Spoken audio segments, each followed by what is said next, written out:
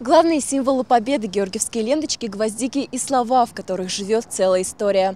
До одного из главных государственных праздников 9 мая осталось чуть больше недели. С ветераном, участником тех героических событий, познакомилась и наша съемочная группа. Внимание на экран.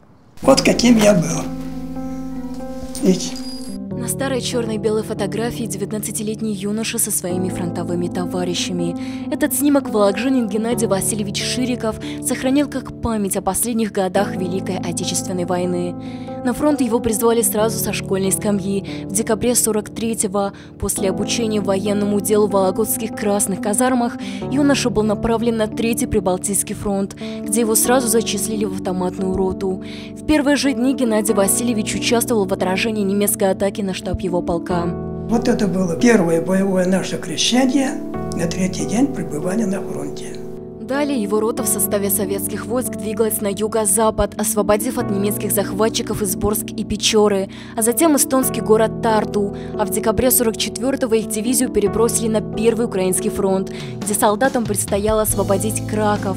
Особенно сильны у Геннадия Васильевича воспоминания об освобождении концентрационного лагеря Освенцима, в котором к приходу Красной Армии находилось около семи с половиной тысяч заключенных. Бои за освобождение лагеря были перед лагерем. Перед лагерем. В самом лагере боев не было, там невозможно воевать. Он не приспособлен был для боевых действий лагерь там.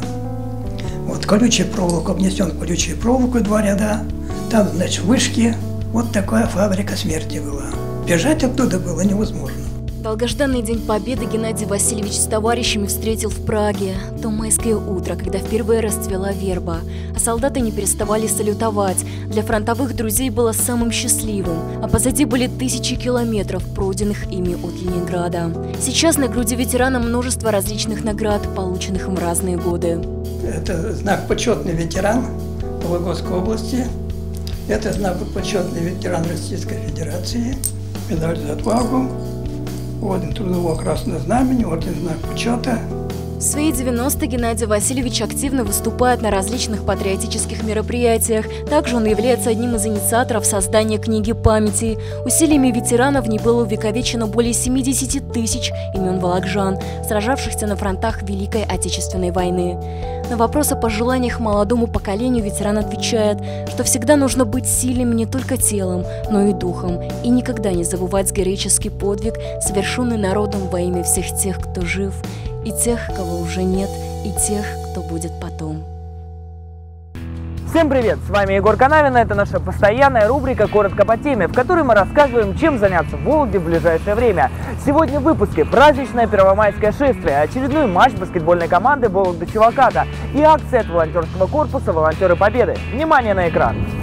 1 мая по всей стране отмечается праздник весны и труда. Первомайское шествие пройдет в областной столице. Участие в нем подтвердили уже более 100 организаций города, промышленные и транспортные предприятия, городские учреждения, общественные организации, молодежь и ветераны. Построение колонн начнется в 10.30. Производственные предприятия соберутся на площадке у стадиона «Динамо» на улице Чехова, а работники бюджетной сферы, студенты и представители общественных организаций на улице Марии Ульяновой. Колонна пройдет по улицам Чехова и Мира и выйдет на площадь революции. В 11.30 там состоится торжественный митинг с участием областных и городских властей, а в 12 часов начнется праздничный концерт. Параллельно на площади пройдут показательные выступления и соревнования по армрестлингу и уличному баскетболу, а также силовое экстрим-шоу. Также 1 мая команда Вологда Чуваката проведет очередной матч серии плей-офф чемпионата России по баскетболу. Соперником волокжанок станет Красноярский Енисей. Это будет уже вторая игра в серии. Первый матч за седьмое место в главном баскетбольном первенстве страны состоялся 28 апреля. Наша команда на выезде уступила красноярским баскетболисткам с минимальным разрывом в счете 71-73. Вторая встреча состоится в ОСКК Вологда в 18.30. При необходимости там же 2 мая пройдет еще один матч. Всем активным молодым волокжанам, желающим помочь в организации праздничных торжеств, посвященных 9 мая, предлагают стать участником волонтерского корпуса «Волонтеры Победы». 5 мая добровольцы будут раздавать георгиевские ленточки в составе творческих агит-бригад на центральных городских площадках. 5 и 6 мая в рамках акции «От чистого сердца» волонтеры совместно с курсантами ВП будут развозить подарки ветеранам. Кроме того, добровольцы проведут уроки, посвященные Дню Победы в школах и детских садах. И, конечно, примут участие в главном событии – параде Параде Победы 9 мая на площади Революции, где они будут помогать в организации, а также пронесут по площади Знамя Победы. Подробная информация в молодежном центре Горгом 35 или по телефону 76 02 55.